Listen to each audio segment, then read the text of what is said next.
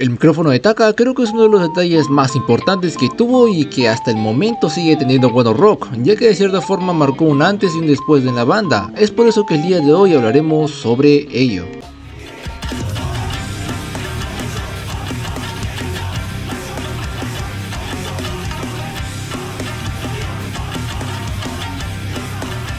En el año 2010, luego de que Alex abandonara la banda por problemas, hubieron muchos cambios en la banda, empezando con la idea de que Ryota dejase el bajo para que tocase la guitarra, y terminando con Toru siendo la guitarra principal.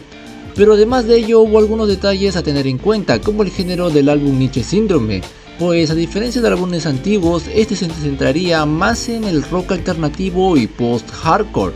Además, otra cosa que se vio fue la aparición del micrófono rojo, el cual empezaría a ser usado por primera vez en un videoclip con Jibun Rock. Aunque podría ser alcance en Kankaku Dreamer, pero no se ve pues todo está en blanco y negro, a menos de que usemos el poder de la imaginación y supongamos algo. Y por eso nos quedamos con Jibun Rock. En el caso de conciertos grabados, pues este se vería en el DVD del Budokan del año 2010. Luego de esto aparecería continuamente en la fase más rockera y conocida de Bono Rock con el Sankyo Reference y el Jinsei por Boku, con videoclips como No Scare, Remake, Is Near,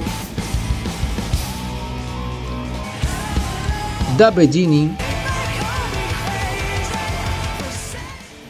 y Clock Strikes, llegando al 2015 con Mighty Long Fall,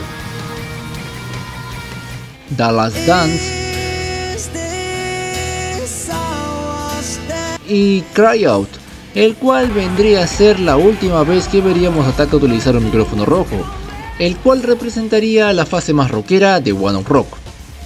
Este tema del micrófono rojo llegó a ser tan importante para la banda y para el mismo Taka que Sato Takeru, uno de los mejores amigos de Taka y el mismo que en el anterior video nos habló de que habían muchísimas canciones de One of Rock que todavía no han salido al público, que se podría hacer otro álbum ahora mismo, pues nos cuenta en su photobook especial llamado Alternative que su regalo de cumpleaños para Taka fue un micrófono rojo, el cual tenía las siguientes palabras Isn't it about time for the new generation to take the throne? que significa ¿no es hora de que la nueva generación tome el trono? Y bueno, la verdad no sabemos si alguna vez utilizó este micro en algún concierto en vivo o quién sabe dónde. De eso no tengo información.